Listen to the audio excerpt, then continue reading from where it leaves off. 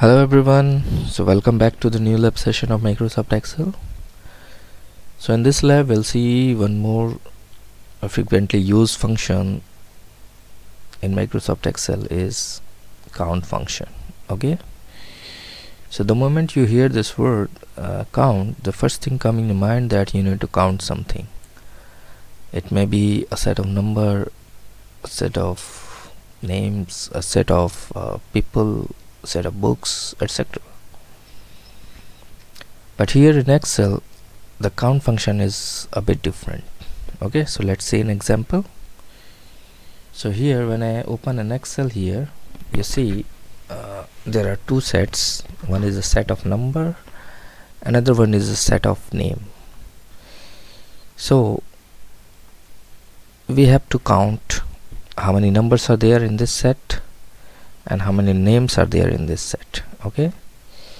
So this thing you can achieve uh, when I select this region and you see in the status you are getting 15 similarly here also when I select this region I'm getting the same result that is 15 that means when I write count function I should get the same result in this case as well in this case okay?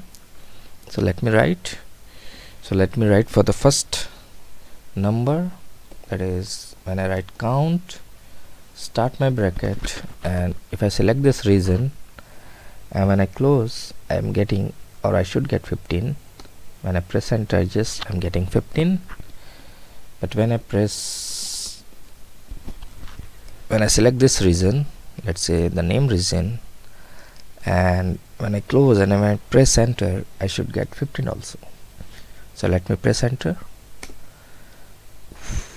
I'm getting 0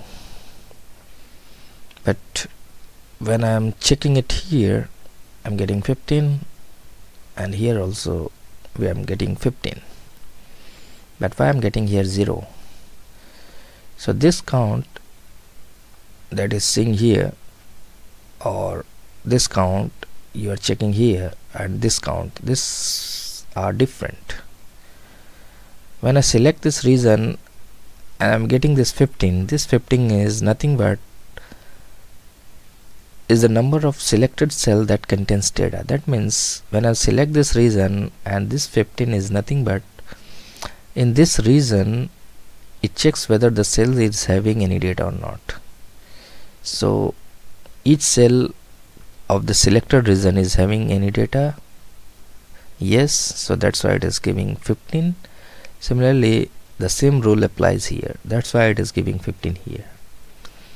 But when I'm using this count function this is different. So what is the use of count function? This count function is generally checks whether in a selected range the cell is having numbers or not. So as I have selected this region this in this region each cell is having numbers that's why it is giving 15 but here in this range I don't have any number. That's why it is giving 0 so you see here when I write equal to and when I write count you see what it written here counts the number of cells in a range that contains numbers. Okay? That's why in this case it is showing 0 but in this case it is showing 15